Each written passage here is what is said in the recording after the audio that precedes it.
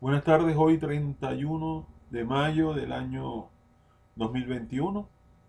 Quiero hablar en relación a quien es, a mi modo de ver, el mejor cantante de salsa que en mi vida yo he escuchado, que me parece el mejor, que marcó época, como lo es ese cantante puertorriqueño Willy Colón respetando a esos cantantes que, han tenido éxito y han marcado época, como Rubén Blades, como Héctor Lavoe, eh, Rubén Blades, Héctor Lavoe, Oscar de León, bueno, tanto que Gilberto Santa Rosa, etcétera, hay mucho, mucho. Pero es que yo le doy gracias a Dios que Willy Colón se salvó de ese accidente, de ese aparatoso accidente automovilístico que sufrió. Gracias a Dios no perdió la vida.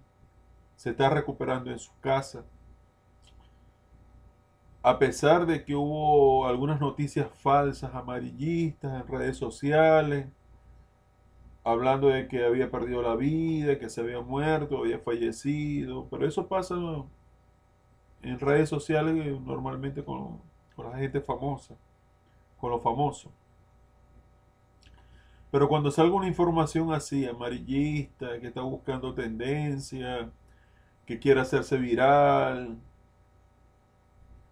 por favor, comprueben la fuente, perdón, comprueben la fuente de dónde proviene esa información, quién la dice, de dónde proviene, y esperen la voz oficial de los medios de comunicación, de los periódicos, de la radio.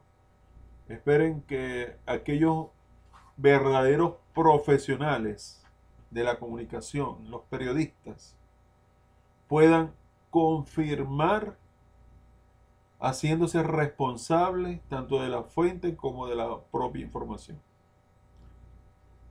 Nos han asustado de la posible muerte, la presunta muerte de Willy Colón, pero que yo sepa hasta la fecha, el hombre se está recuperando en su casa, gracias a Dios. Así esté retirado de los escenarios, tiene derecho a vivir su vida tranquila, disfrutando de de esos éxitos que nos marcaron en la, juventud.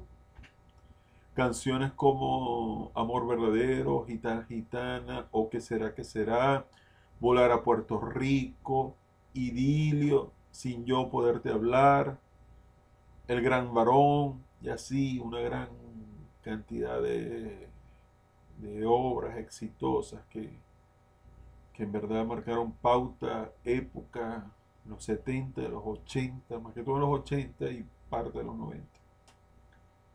Así que, hermano Willy Colón, gracias por todo tu trabajo, por tu esfuerzo, por tu amor a la salsa, a la música.